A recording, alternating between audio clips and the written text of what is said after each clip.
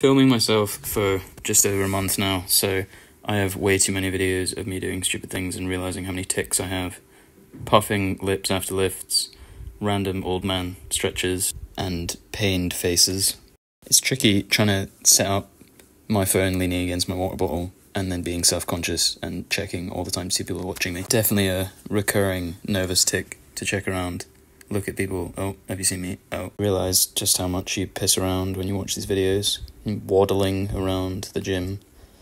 Um, the awful shame of trying to position myself so you can actually see what I'm doing, and not look like a thirst trap where I'm trying to show you my bum.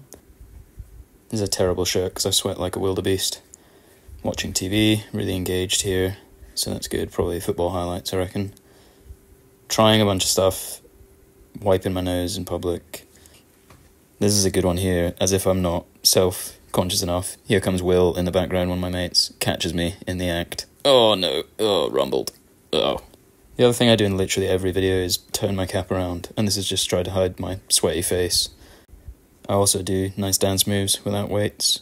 And what I was trying to do here, because I'm five foot nothing tall, um, I was trying to show you the actual activation I get when I do the squat, but as I step back, my, my shirt covers up my bum, so you see literally nothing.